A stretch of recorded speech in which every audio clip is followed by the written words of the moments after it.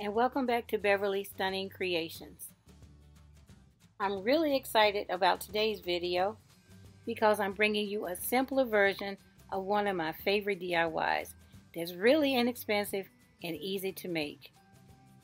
First, I'll show you how to create this beautiful wall decor featuring this Dollar Tree butterfly. One of my subscribers requested a religious DIY for Mother's Day. So I designed this beautiful Dollar Tree cross to match the wall decor as well. So now you have a couple of options to choose from or use one of your own. Now on to the DIY. To get started, you'll need one of these Dollar Tree shadow boxes. Here I'm sharing this SKU just in case you need it.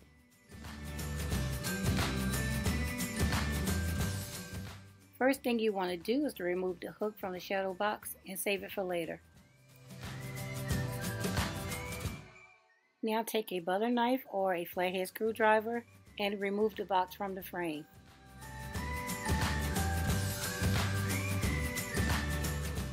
When you remove the box from the frame, it will collapse. So I'm going to take some hot glue and glue it back together a little bit later. But first I'm going to scrape the wording off the glass. I'm pretty sure that you can use a nail polish remover to remove it, but I'm going to use a utility knife.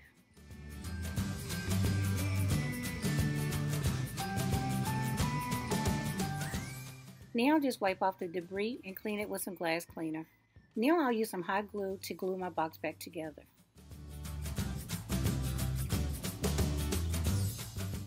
After you glue your box back together, reinsert it inside the frame to make sure it still fits.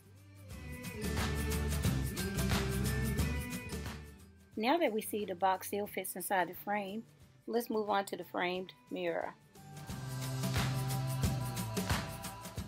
Remove the frame from the packaging and then separate all three parts. Remove the stand from the back part of the frame and then just put it aside for later. Now remove the mirror from inside the frame and put it aside for a future project. Next thing I'm going to do is spray paint all three pieces silver. Make sure you spray paint the inside and outside of both frames and the box. And I'll be using the silver metallic spray paint by Krylon. Spray paint has dried on all three pieces, but I'm going to start out with the box. Because I want the background of the box to be blingy, I'm going to mix some Mod Podge and glitter together and paint the inside of the box.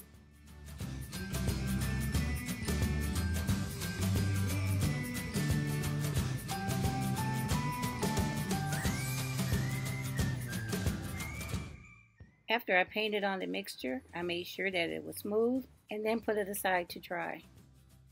Now remember the hook that we removed from the box earlier? We'll glue that to the back that we took from the white frame. I'm going to use some E6000 for a strong hold, along with some hot glue that'll give it an immediate hold.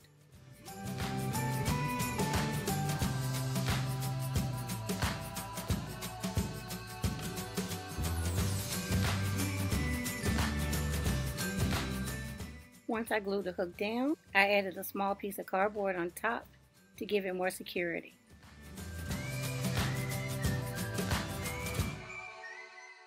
Next, I'll be taking some of these Dollar Tree acrylic diamonds and glue them randomly in place inside the box. I'll start out by gluing a diamond in each corner at the top of the box.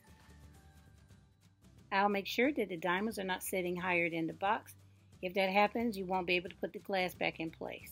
So check the position of your diamond before you hot glue it down.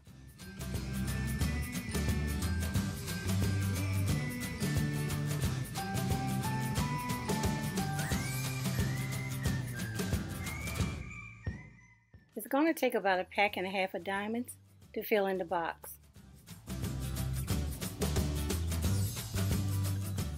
Continue to hot glue the diamonds in place and when you're done, your box will look like this.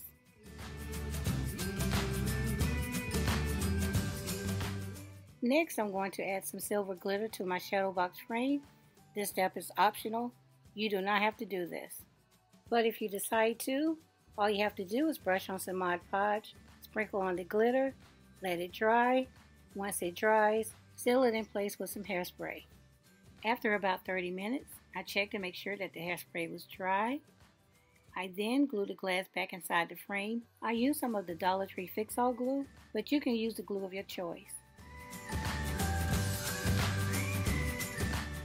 I applied some of the same glue to the outside of my box and then reinserted it into the frame.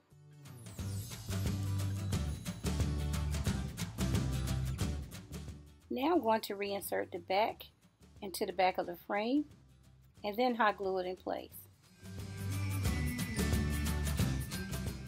Next we'll be gluing this box on top of the frame. I want to make sure that it's a permanent hold so I'm spreading some E6000 around the frame. Before I glue the box in place, I decided to add one row of bling around the box for a more finished look.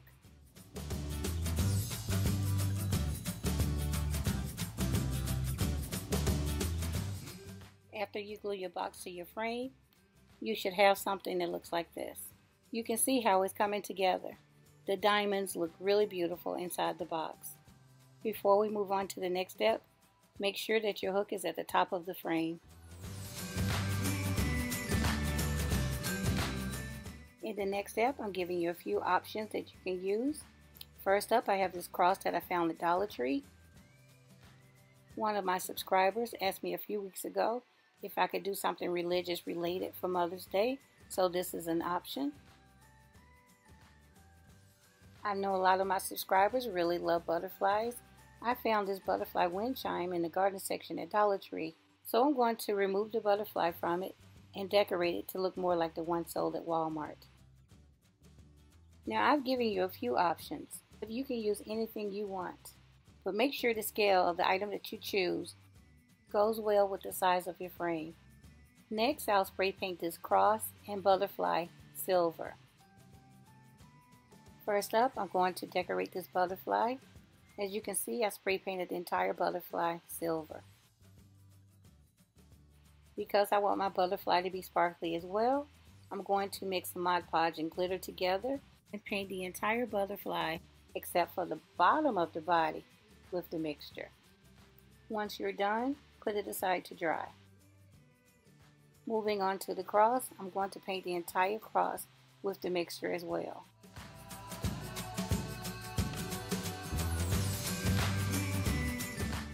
Now put the cross aside to dry as well. Now that the mixture has dried on my butterfly, I'm going to trim the outside of my butterfly with Mod Podge and then sprinkle on some glitter. If you decide to do this step, use a small brush to trim out the butterfly and Mod Podge.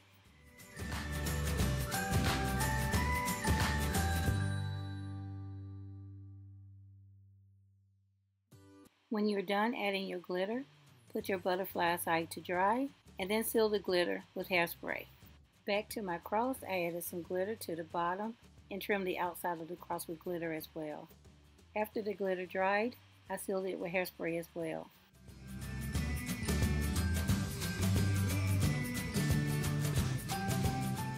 Now back to the butterfly. I added some rhinestones to it to give it even more sparkle. You'll see that the butterfly has some circles in the design. I simply hot glued different size rhinestones onto those circles. I also glued rhinestones onto the body where it was connected to the wind chime. When you're done decorating your butterfly, glue it to the frame. Use some hot glue along with some type of strong glue for a permanent hold. Now back to my cross. I simply decorated it with some strips of bling and one rhinestone in the center of the cross. I used hot glue to glue the bling and the rhinestone onto the cross. And here's what the finished cross looks like. Now I'm going to glue this onto the frame as well. Before you glue it on, make sure that your hook is at the top of the frame. Check your cross to make sure that it's straight. And when you're done, you'll have this beautiful piece of art that was inexpensive and very easy to make. Okay everyone, this completes my DIY. I hope you enjoyed it, and if you did, please leave me a thumbs up. Let's get this video up to 2,000 likes. Also, don't forget to comment your favorite design below. And if you're visiting my channel for the first time and like what you see, please subscribe. See you in the next one. Thanks so much for watching.